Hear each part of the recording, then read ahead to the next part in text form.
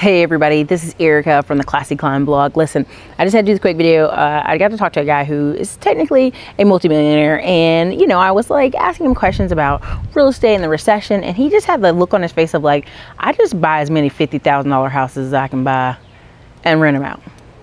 And I just kind of started laughing because it was such a simple process.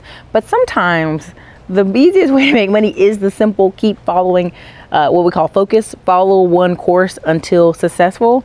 Um, and that's what he's done. And, and so i can't even argue with the success level of that man. Because if i'm not mistaken he owns at this point 100 properties. He's been doing this for years. And he works with a clientele that most people ignore.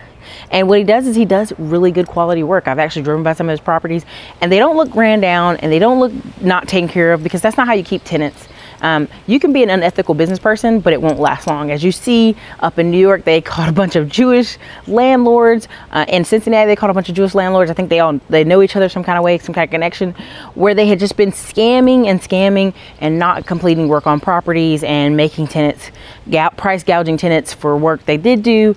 Um, it was just really awful. But guess what? It catches up with you. You cannot be unethical. All right. So listen, it's a simple course. It's an easy course. Um, I even tell people, I'm like, you know, everybody wants this flash in the pan, this viral success, but there are a lot of people I've met out there in their 40s and 50s in real estate who just bought a house a year. And now here we are when they're in their 50s and they own 30 houses or, or you know, opportunities have come along where they own 20 houses and they're just enjoying the cash flow and some of their properties are already been paid off.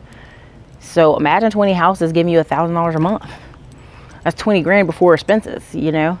So what if you're in your 40s or 50s and guess what? You decide, you know, my wife needs knee surgery. I need knee surgery. I need back surgery, whatever it is. And I want to take a break on working. You can do it because you've done it ethical. You've done it right. You've followed one course until successful. You've taken the time to uh, simply just keep doing the work, and and it, you're going to leave a legacy. Your life is essentially better for it. So this is Ericka, Classy Climb blog. Focus.